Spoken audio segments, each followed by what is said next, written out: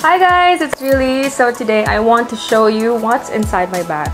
This is actually just 50% of what I usually bring every day, so let's take a peek inside.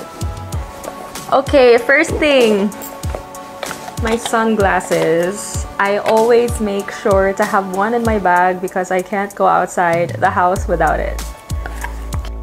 Okay, my perfume. This is one of my favorite scents.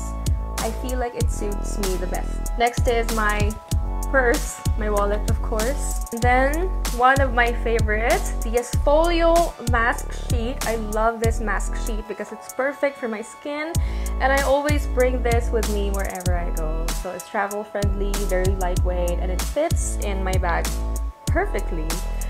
And oh, I also have here some more mask sheets. diba, addict ako sa mask sheets because I always want to stay fresh every day. Lang. okay, so that's it. Thank you so much for joining me. Till the next, and I have to go. Bye!